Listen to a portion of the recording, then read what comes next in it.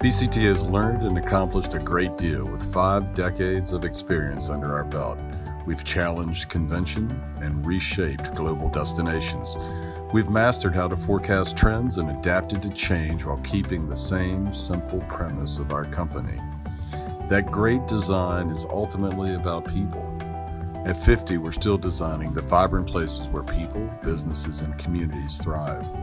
As we recognize this special milestone, we commemorate 50 years of drawing crowds.